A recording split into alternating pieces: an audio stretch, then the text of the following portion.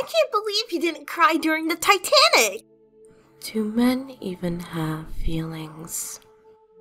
Take fight! The big Ogryn beamed happily at Tarl, who, in that instant, hated him for it. Just for a moment he considered giving different orders, but strategic options were limited and half-remembered regulations from before his time aboard the Morningstar gave clear direction for such scenarios. He released his hand on Tig's shoulder and nodded sharply. Any sorrow would have to wait. It would probably have to wait a very long time. Yes, Tig, you fight, my friend. If you can, meet us in Enclave and Barros. But now, get out there and make those carking traitors hurt. That's a direct order. Emperor be with you.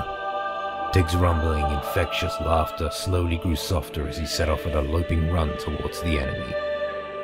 Tarl knew there was no way in all the Imperium's million worlds that he'd ever see the Ogryn again. Emperor be with you, he repeated in a low, grim voice. And may he forgive me.